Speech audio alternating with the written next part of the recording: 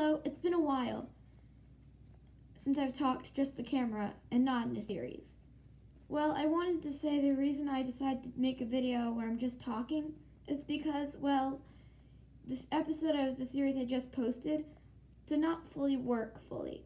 You know, I had some problems with my technology, so I decided to just tell you how the episode was going to end before my iPad started being buggy, which is what I film on.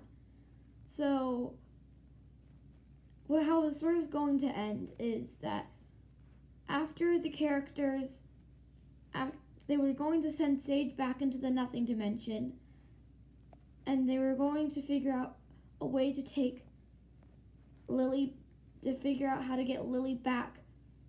But with to no avail, Lily will not be coming back, and she will be stuck in the nothing. She'll be stuck in the Twilight Zone for a little while. So, and then devastated and sad,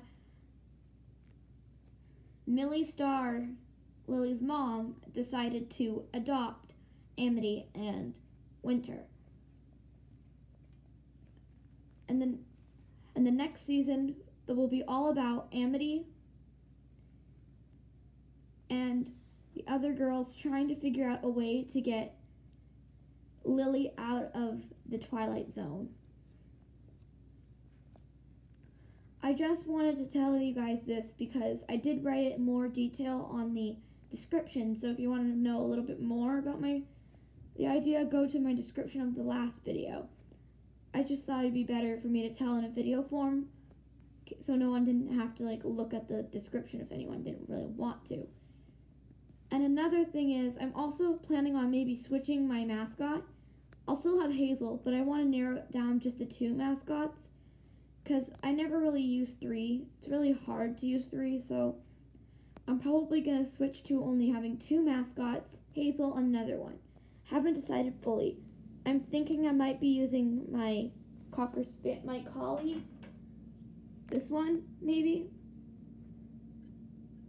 But I haven't fully decided. If you guys like this, if you guys like the idea of me using this one, give this video a like. And I'll send and I'll put on my amino page, which is LPS Sun and Stars, on a, on LPS Amino. I'll put on my amino page a picture of of Hazel in her Halloween costume, and you can comment down on that picture on Amino if you want.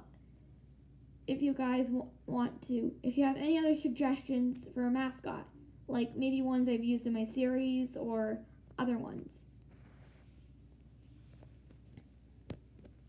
Now, before I go, let me just say how spooktacular Halloween this year.